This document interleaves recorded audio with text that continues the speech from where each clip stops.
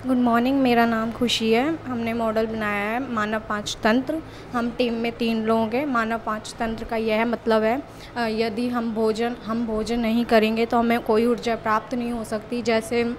जैसे कोई प्रोटीन प्राप्त नहीं होएगी या आदि विटामिन हमें प्राप्त नहीं हो सकती, इसलिए भोजन ग्रहण कर, भोजन ग्रहण करते हुए, भोजन ग्रहण करते हुए हमें ऊर्जा ऊर्जा प्राप्त होती है। जैसे प्रोटीन विटामिन आदि, जल हमें प्राप्त होती है, हमें भोजन ग्रहण करना चाहिए। मुख्य भोजन भोजन के अंत ग्रहण करने पर, भोजन के अंत ग्रहण करने पर दांतों दांतों द्वारा पीसे गए और चबाए हुए गए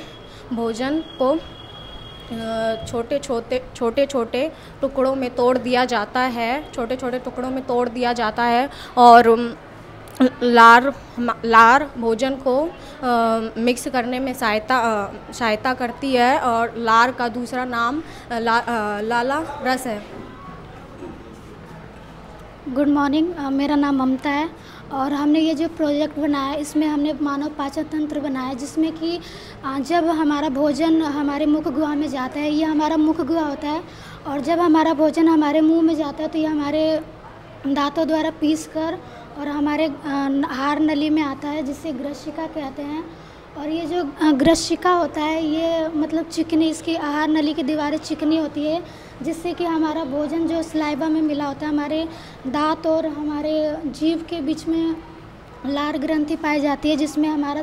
जो भोजन होता है वो मुलायम हो जाता है और वो हमारी आहार नली द्वारा हमारे अमाशय में आता है और हमारा अमाशय में जब हमारा भोजन जाता है तो हमारे अमाशय में एक ऐसा आ, हमारे अमाशय में पाचन तंत्र मतलब पाचन तंत्र की प्रक्रिया हमारे अमाशय से शुरू होती है। और जब हमारा भोजन हम आश्रय में जाता है तो यहाँ पर हमारे तीन प्रकार के मतलब रेमिंग और पेप्सिन और एससीएल पाए जाते हैं, जो कि हमारे भोजन को पचाने में सहायक होते हैं। और जब जब हमारा भोजन यहाँ अम्लीय हमारा भोजन अमाश्य में आता है तो हमारा भोजन अम्लीय होता है। लेकिन जब हमारा भोजन अम्लीय होता है, लेकिन ये जो पिताशय होता है, इस तो इस पिताशय में पितरस होता है, जो हमारे भोजन को क्षार्य बनाने में मदद करता है। और फिर हमारा भोजन अमाशय से ये छोटी हाथ में आता है, जहाँ पर हमारे छोटी हाथ में आता है, जहाँ पे हमारा जो भोजन होता है वो पच जाता है और फिर हमारे ये जो भोजन है तो पच जाने के बाद हमारे भोजन प्रोटीन और वसा और बहुत सारे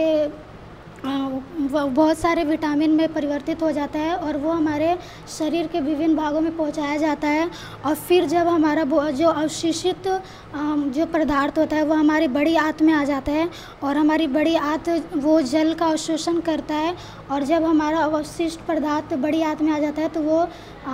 मलाशय तक पहुँचाया जाता है और हमारे जो हमारा अवशिष्ट पदार्थ होता है वो मलाशय में आकर हमारे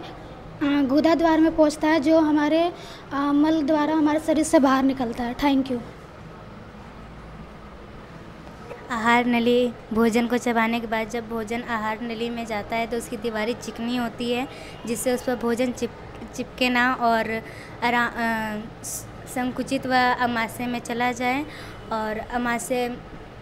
अमाशय में किसी प्रकार का भी पाचन तंत्र, पाचन नहीं होता है और अमाशय अमाशय में अमाशय जठर रंधी को श्राद्ध करता है और जठर रंधी में एसियल पेप्सिन रेनिन आदि पाया जाता है।